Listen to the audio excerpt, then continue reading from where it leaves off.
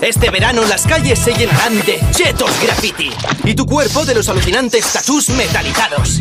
La calle es tuya con Chetos Graffiti.